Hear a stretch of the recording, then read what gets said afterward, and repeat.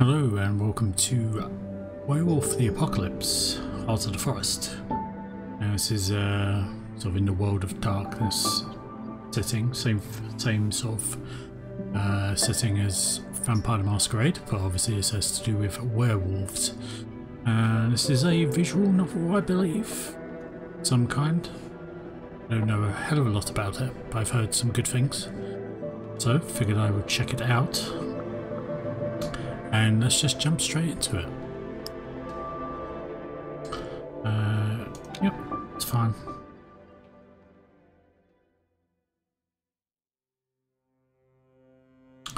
Prologue, Premonition. Okay, so we have stats. This is a game about rage and how it helps us do things that need to be done, as well as things that we later regret, sometimes both. How do you feel about that? Um, I guess I prefer to think before I act.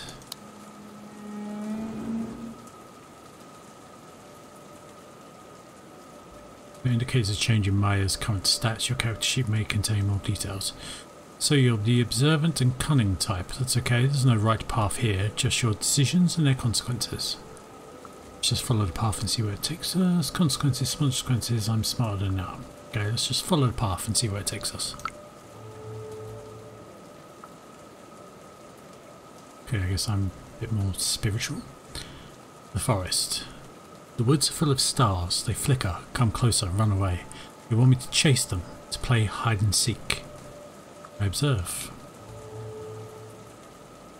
I watch as they dance around the tree trunks, float up on the gusts of wind that shiver through the branches, disappear among the leaves.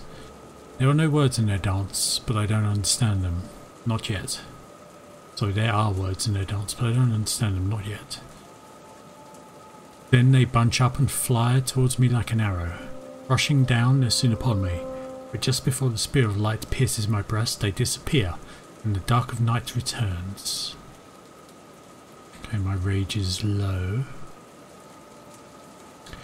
Indicates that this version of the story happened because of your current stats. Okay. In the darkness, the spirits keeping the forest alive whisper about the enemy. I begin to move, unnoticed, one with the night, and then I wake up.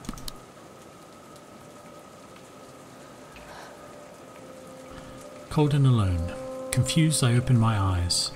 The forest around me is thick, dark and reeks of decay to such an extent that it's hard to breathe. Why am I here? My head is spinning. Why am I here? There must be a reason. Tree trunks wrapped tightly in the dark-leaved ivy, covered in ripples of lichen where the vines haven't taken hold. The thorny, leafless brushes at their base are overrun with nettles.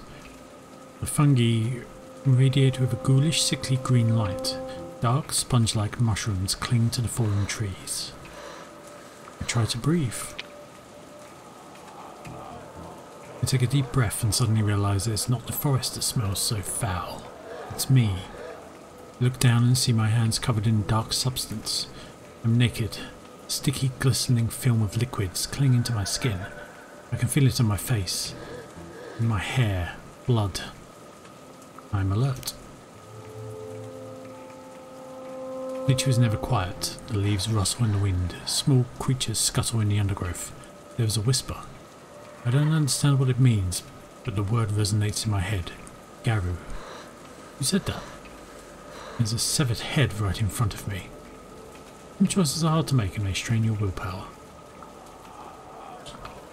Um... No, I don't think I need to touch the severed head. I'm going to be sick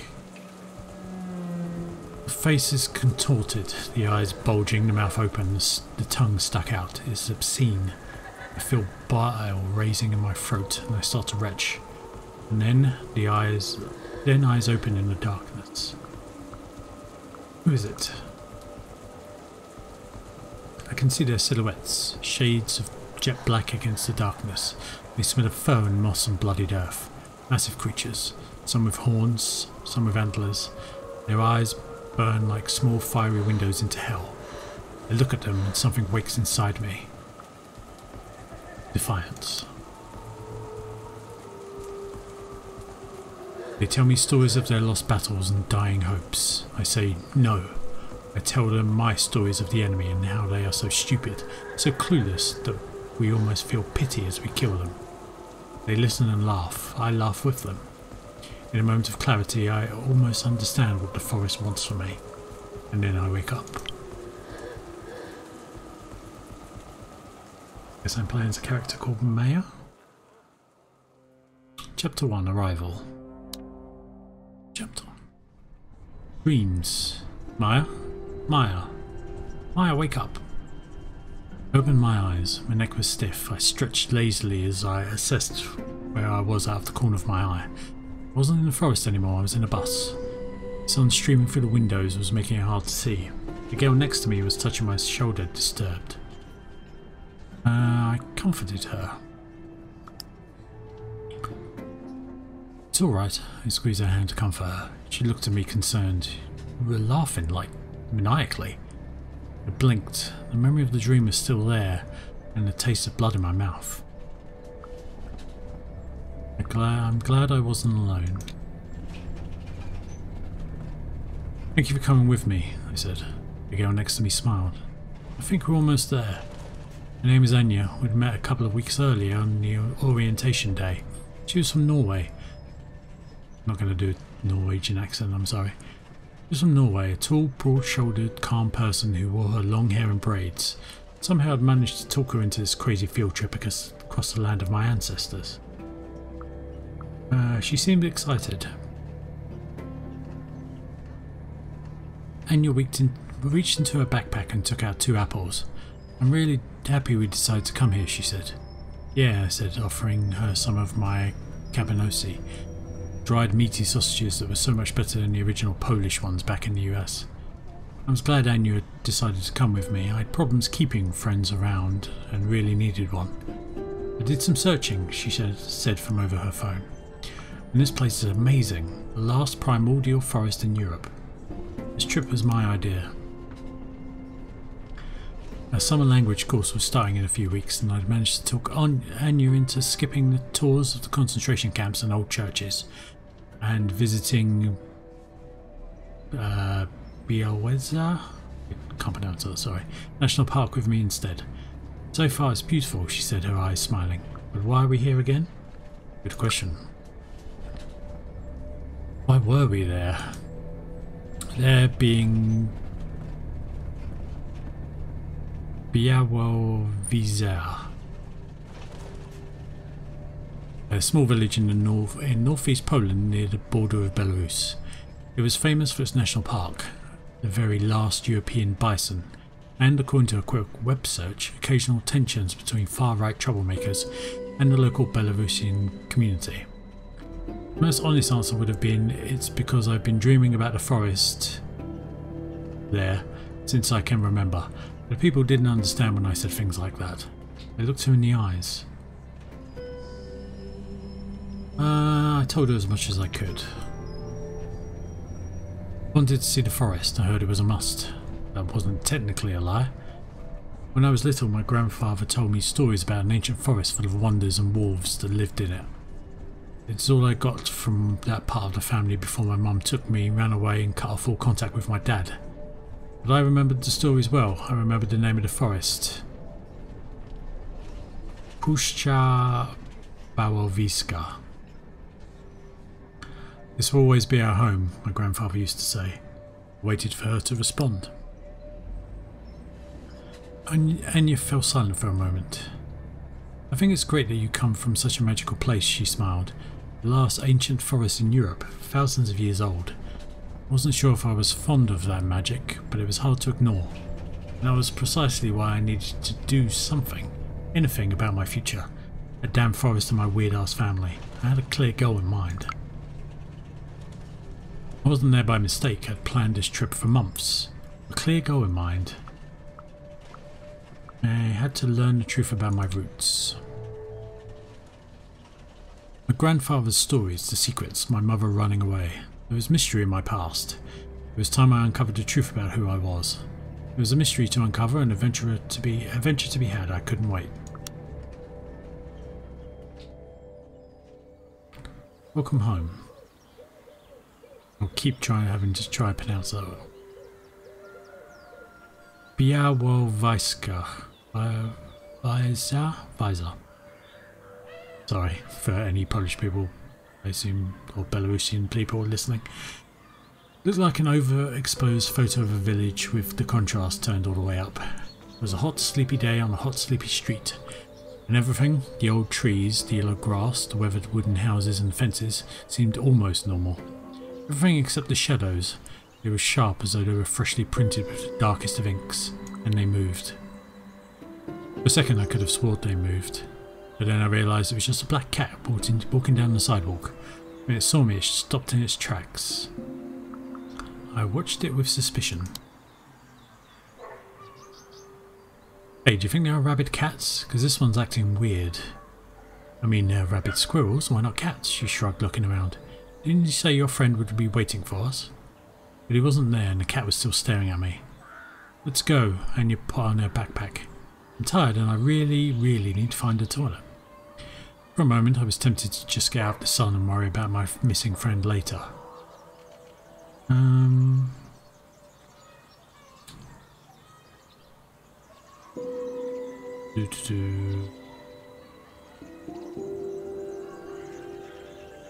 No, okay, apparently I didn't need him. Like, that's fine. I grabbed my backpack and started walking. I'll manage on my own. Thanks for nothing, I muttered under my breath. Anya sighed with relief and followed me.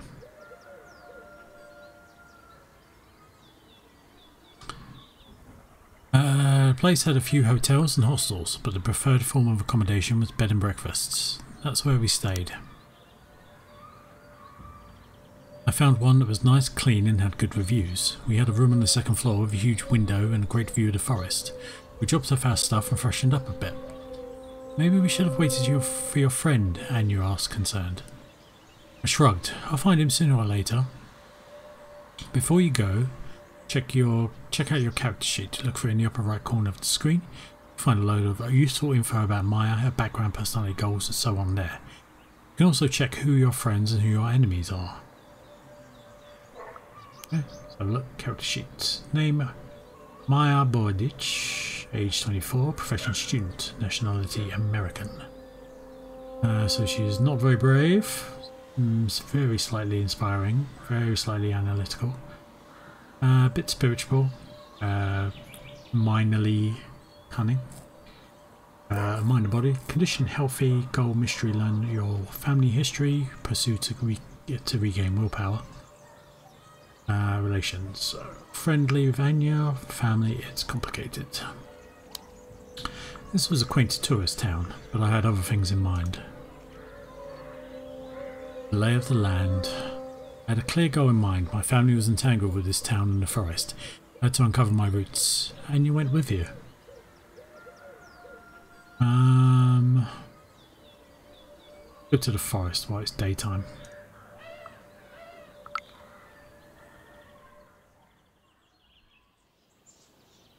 It was dark in the woods, dark, humid and chilly. The leaves didn't let through a lot of sunlight. Daniel looked at Anya and me over his shoulder. How'd you like her? Well, we had met maybe 20 minutes earlier. Anya had googled local guides and he was apparently the best person to go to if you wanted to see the forest. So I found him and now here we were. I wasn't sure whom he meant. You mean the forests? I asked. Polish was a strange language that gave the most unexpected genders to objects and places. I mean Pusha. He gestured around us. The word sounded like rustling in the leaves. Pusha. Pusha is the right word, not forest. Forests are like fields or orchards, cultivated, he spat as he said it, and Pusha, she is older than, than even the concept of fields. He was using the word although, uh, though was a name. Looked at the Pusha again. Kind of butchering these names, apologies. Looked around with fresh eyes. I felt as though I'd entered an ancient tomb. Gigantic dead trunks were decomposing slowly around me. Young plants and colourful mushrooms were sprouting from them. The trees that still lived stretched towards the sky like columns holding up a vaulted canopy which blocked out all but a few rays of sunlight. There was stillness and there was movement, darkness and light. If spirits existed, that place would be swarming with them. Uh, I loved what I saw. There should be more places like this, I said earnestly. Or more of this place. Daniel lifted his head and looked me right in the eyes. Yeah, yes, you're right, he said with a serious expression. He was a strange guy, slender but muscular, not the CrossFit type. It was more the kind of strength you get from working all day long in the open. His skin was weather-beaten and bronzed by the sun, like tanned leather, and he moved in a very deliberate way. But his fingers were slim and delicate, and his eyes were the strangest shade of yellow-green. Then I remembered why I was there. Perhaps he knew my family. You're local. Maybe you've heard of my family, I asked. Not from here, but my family was, I continued. And I think something secret connects me to this place. Daniel stopped abruptly and turned to me, watching for a while. His nostrils flared as though we were tasting the air. Yes, his face broke into a smile. I think our families might have known each other many winters past. Pusha still remembers.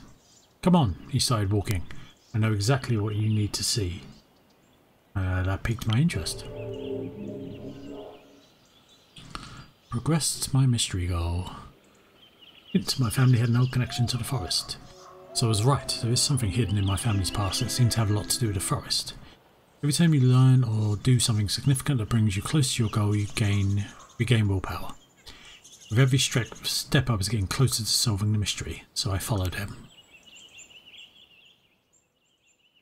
Um, you have to choose a path, he said. There's the old wolf den, or I could show you the barrows first, or a clearing that some folks call a place of power. Place of power sounds good. Just one small thing. We started walking, but after a few steps he stopped abruptly like he'd remembered something, and he turned to me. could you do me a favour, please? he asked. Uh, sure. Yeah, man, sure. What do you need? I smiled. He ran his hand through the moss on the dead tree trunk, smelled his fingers, then reached into his pocket. He took out a small stone. Amulet? A personal amulet of his, maybe. I felt my hair stand on end and my nostrils widen for some reason. The smell of the forest grew stronger. The game tracks your decisions on how Maya approaches problems. They will accumulate and gradually reveal what kind of person she is, deep in her heart. The story changes to reflect Maya's personality. I, I would like you to take this stone, he held out his hand toward me, and throw it in the direction you think we should go. I did what he asked. Okay, I said, reaching for the stone. I took the stone and closed my hand around it. Be careful, I whispered Anya. Uh, I was curious. It was warm and I felt grounded when I squeezed it. I closed my eyes and thought about a place of power, trying to imagine that place. I thought about energy emanating from the ground, filling me to the top of my head. I could see myself standing barefoot on the moss, surrounded by trees. I threw the stone. I felt my hand rising entirely on its own, and then throwing the stone as far as I could. When I opened my eyes, there was a path where the stone had fallen. I hadn't noticed it before. Okay, Daniel patted my back. Let's go. Okay. Sure.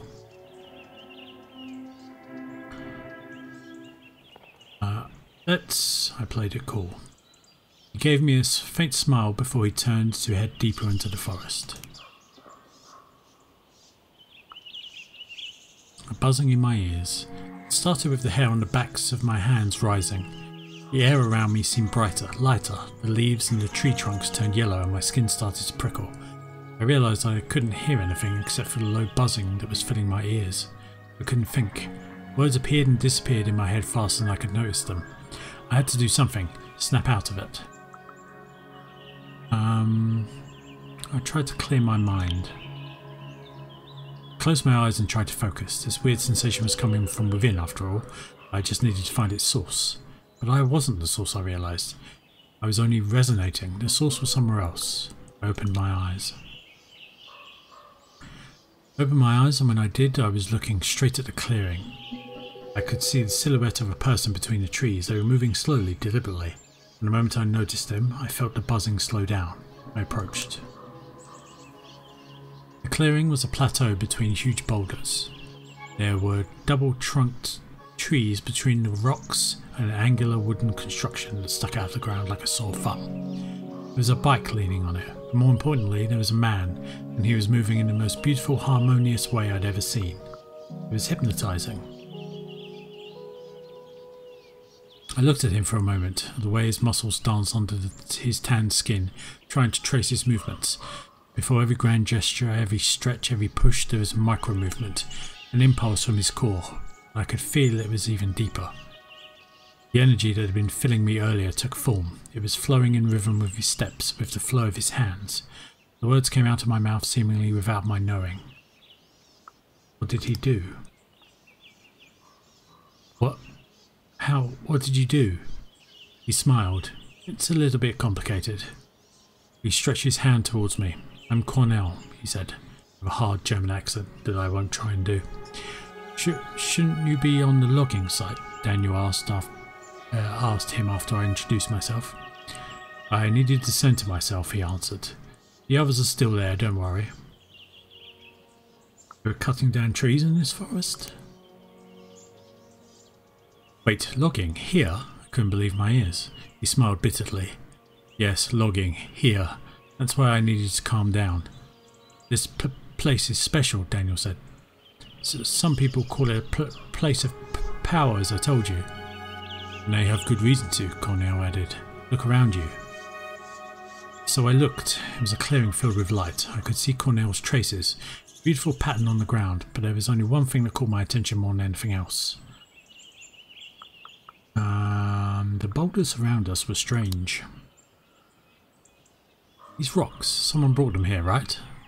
I asked looking at the boulders, which upon close inspection formed a circle. The stones were irregular and nestled deep into the ground.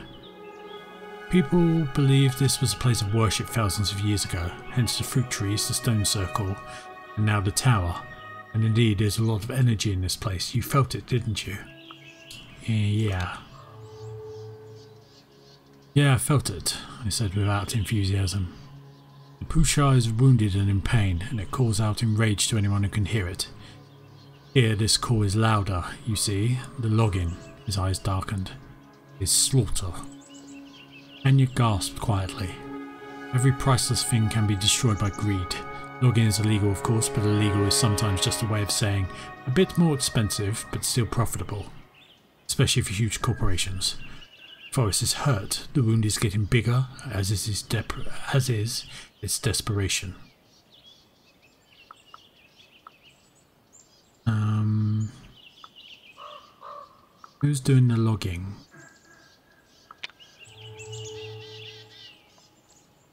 I frowned. Who's doing the logging? I asked kindly. If anything was to be done here, it had to be done in an informed way. Cornell regarded me for a moment with a faint smile. You have a connection with this forest, don't you? You should come to the logging site and meet everyone. Absolutely, Anya said eagerly. It sounded good. It could be the next step, and even if it wasn't, something had to be fucking done about the logging situation. Yeah, I'll come, I smiled. Great, you will understand what you need to do. He jumped suddenly and looked at the wooden tower and the bike I'd noticed earlier. Die Schwalbe is getting restless, he said. And, as Daniel pointed out, I should be on the login site setting up for the protest. Schwalbe? What is that? I asked, confused. He named his bike Swallow, Daniel explained. He loves it very much. Cornell grinned. Oh, I do. Nice meeting you, Maya. All I wanted to do was get out of there. The moment he disappeared, the buzzing came back. It wasn't as strong as before, but it was there. All I wanted to do was get out of there. Through the forest. We went on through the greenery, the buzzing in my ears slowly decreased. Um,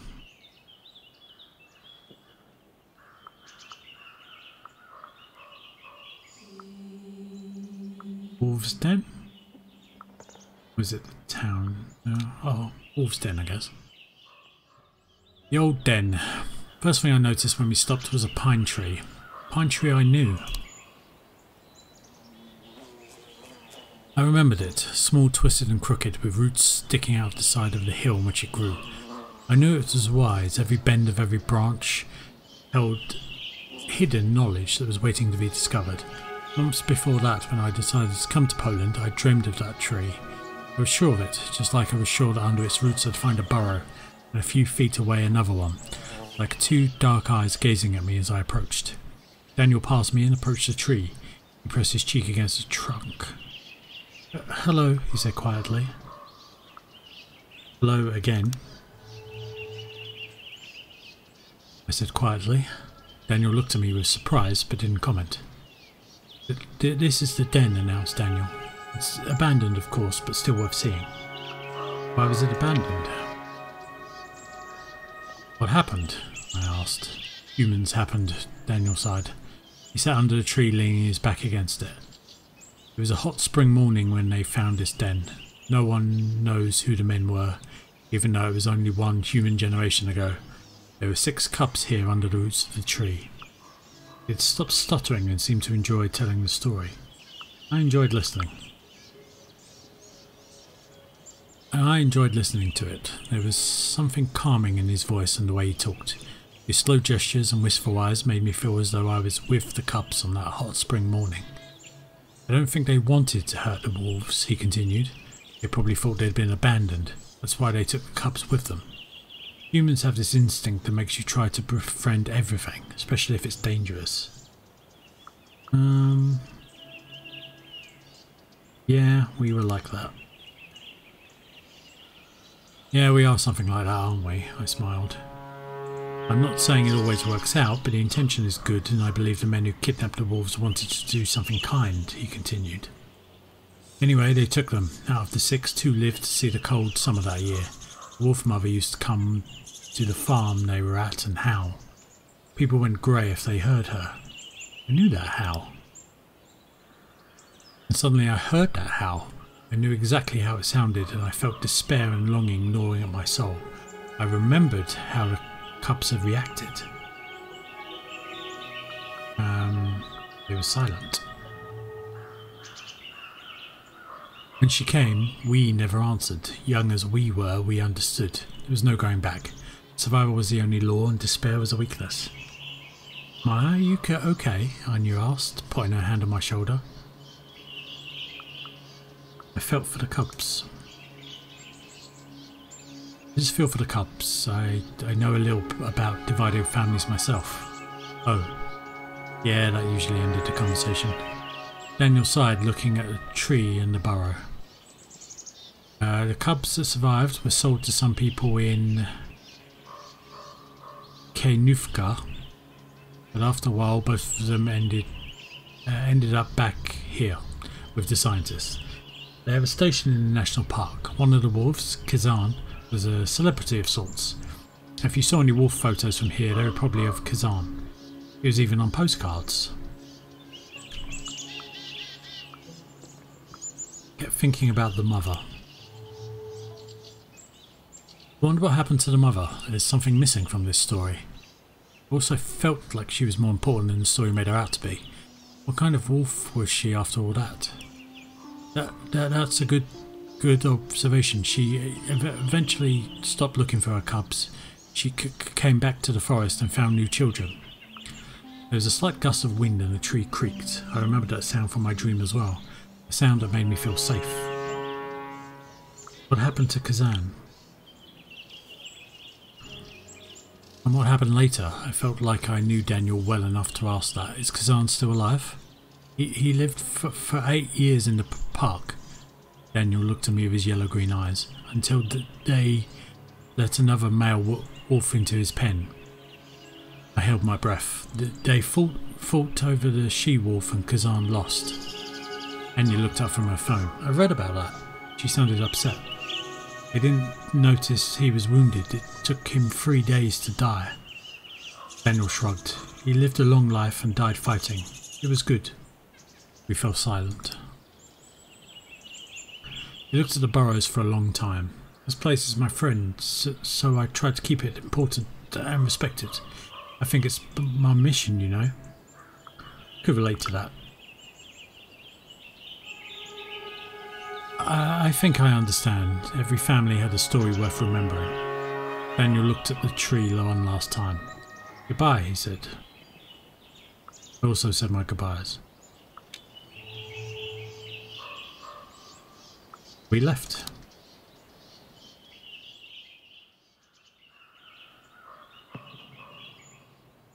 Um,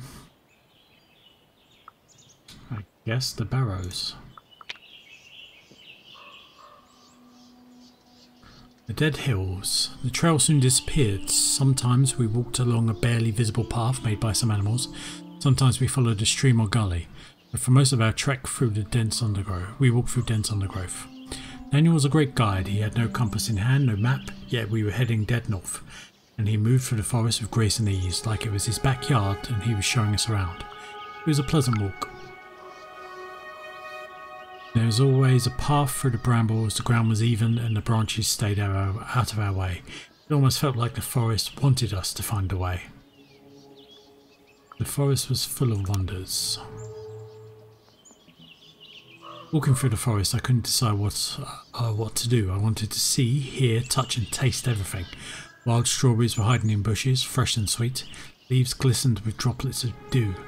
Snails, pebbles, strange plants and mushrooms, armies of ants marching across our path. Everything was a treasure. It was though the Puszcza was showing us the best it had to offer. I took what I wanted. I couldn't resist the temptation, and when I spotted something I like, I took it. Best fruit I'd ever tasted taste of the fruits was unforgettable, more real than anything I'd ever, everything I'd ever tasted. Shouldn't you wash it first? asked Daniel when I reached for another wild strawberry. We continued in silence. We'd been walking for a while when I noticed that Daniel's steps had become slower. He was also looking around more often and hunched slightly. Uh, I just enjoyed the moment. I sat down on a fallen tree trunk, looked around and just enjoyed the afternoon. After a moment, Daniel shook his head. They're tricky to find sometimes, he mumbled. mumbled. Be quiet for a minute, please. That's when I felt it. Ash in my mouth, the smell of smoke and wet soil, and a pool. I knew where to go. I think I know where to go, I said, surprised. He tilted his head. Oh, okay, let's check it out. I pointed to the barely visible path to my left, under a dying tree. He followed me and I followed my feet, knowing exactly where they should go. Under the crooked tree, past the dead tree trunk and sponge-like mushrooms, across the patch of wet, green, uh, dark green moss, all the way to a place that didn't look much different than the other parts of the forest, until we noticed the mounds. There was something about the flattened hills that drew my full attention. I could remember a memory stirred in my mind. No, it wasn't a memory. It was a feeling anchored in my chest, akin to the taste of the ash in my mouth and smell of smoke. Longing, sadness, resignation. But there was more. A sense of sacredness. It filled me with calm excitement. When I closed my eyes, I saw a fire burning in the darkness. Voices. The village was long gone. Its houses burned to the ground, its people slaughtered. The spirits were still there. They had accumulated over time, some in ancient Roman armour, some in rags, some in animal skins, some in uniforms from the world wars, some in modern camo. Are we dead? Where were we? Where are we? They asked me with frantic whispers. Is this hell? Uh, it was paradise. No, it was paradise, just not for them. When I opened my eyes, Daniel was watching me. You were somewhere else, he said. You said you had family here? I nodded. I heard my father's family came from here. I nodded. I don't know much about them, though. He sighed. I, I don't think you should be here, he said tersely. You're not ready. You knew something. Why? What do you know? I wasn't letting it go. Uh, about you, not much. But, but I know the Puszcza. The past is close here. His eyes were worried as he looked at me. And if the Puszcza calls you, it's wise to listen, but it's not wise to get, get lost in the voices. Come. On the way back, I was lost in my thoughts. The voices in the vision knew what I had to do. It's almost as though it was expected of me. Was this what my family did here? Why had Daniel asked about my family? Was the vision showing me what my ancestors had done here? I accepted that thought. Progressed gold mystery. I smiled. The bigger picture was, picture was finally starting to come to light. Magic was in my blood. Walk back was uneventful. Okay, I guess we will... I felt a little tired. The shadows of the enormous trees cooled the sweat of my skin. The taste of ash lingered in my mouth. Uh, we made our way back to town. Serendipity. As we walked through town, Anya nudged me and pointed at a tall, a tall broad-shouldered, freckled guy standing at the bus stop with a lost expression on his face. I remembered his face from the pictures on social media. It was the friend who'd stood me up earlier. I was glad to see him. Bartek? I waved to him and smiled. Sorry I missed you earlier. Maya, what are you doing here? He blurted with surprise when he saw me. I was sure you missed the bus. We started walking and talking. His accent was broad and East European. Uh, Anya looked, liked him.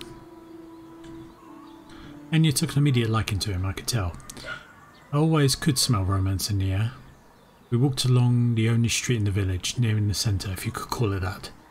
Every house had a garden, and the air was dense with the fragrance of flowers. I took a deep breath. So, did you manage to trace the name I gave you? I asked. Bartek shook his head. Nothing. Absolutely nothing. Sorry. He was avoid avoiding my eyes. A trickle of sweat ran down his temple. He looked afraid. What's up, man? I smiled. Spill the beans. I'm a big girl. I can take it. He climbed up. You know what? I think you should drop it. I stopped. He was scared of something. I turned to Bartek and touched his arm. What's eating at you, man? He shrugged and shook his head. You can tell us, Anya added gently. I gave him time. I swallowed the urge to shake him out of it and just waited. It took him a while before he finally opened up.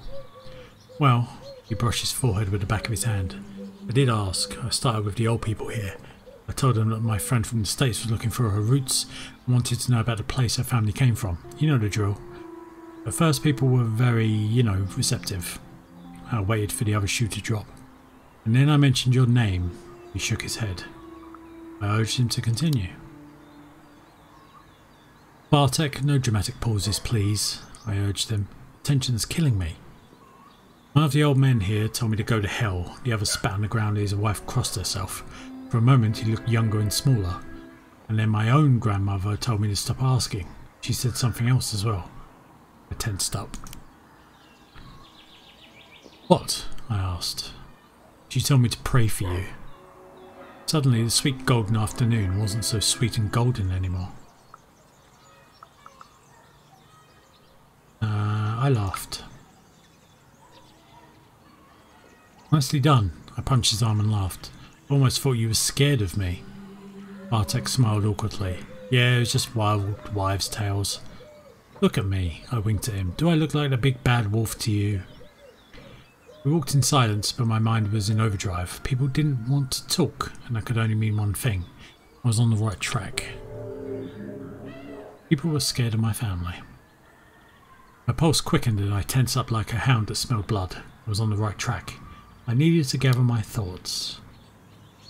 It was a long day, a lot had happened and I was really tired. It was good to meet you in person, I said, but I need to be going. All this travelling and walking through the forest, it was exhausting, I smiled.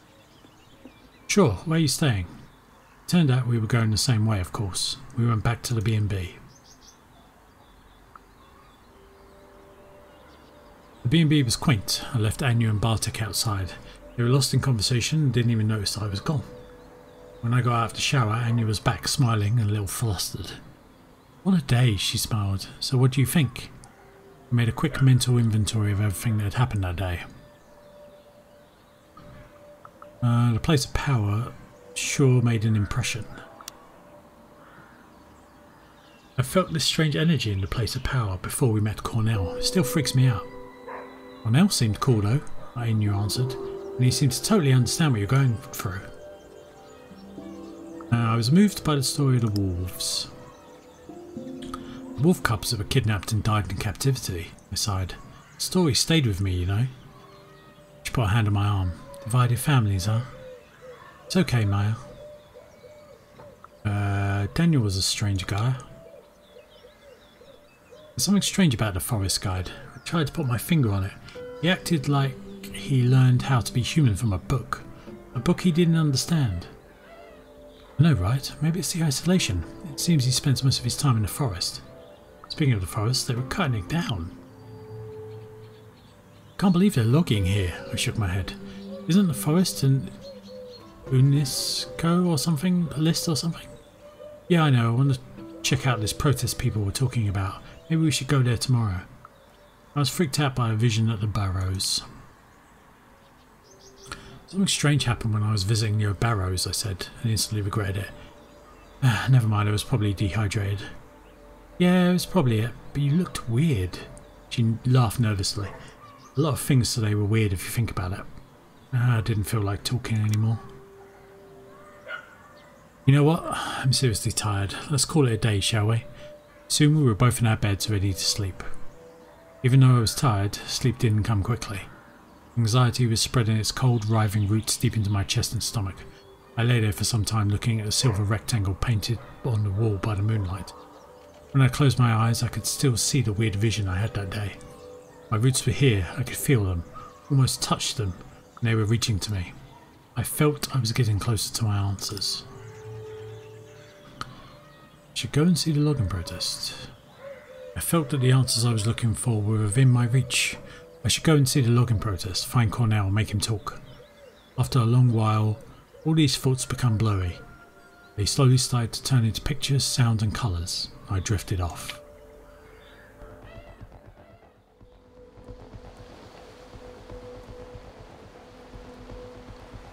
Night in the woods. A black cat stands directly in my path, its eyes shining in the moonlight. It looks directly at me, waiting. I tremble. Something is coming. It's huge and monstrous. Uh, I'm a cub. I'm a wolf cub like the ones my grandfather told me about.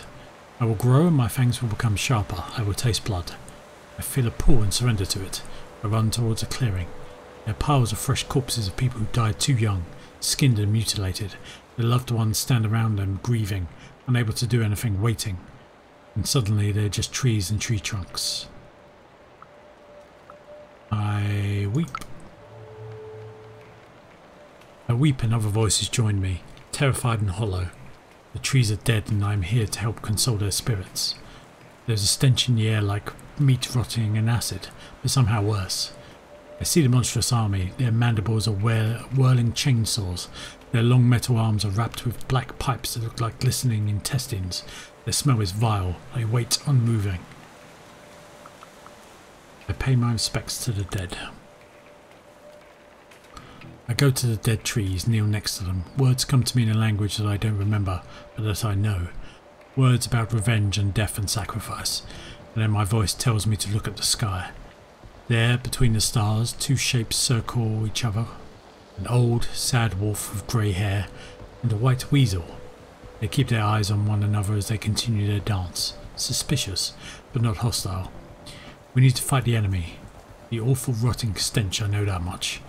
But how can we do that when we don't trust each other?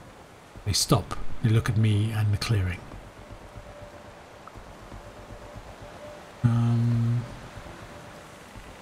I give them my blessing spill my blood and bless them with the words that I do not recognize but that I understand. They come down to me and their voice is the voice of the Puszcza. Welcome back. You have been away for too long a time. I wake up.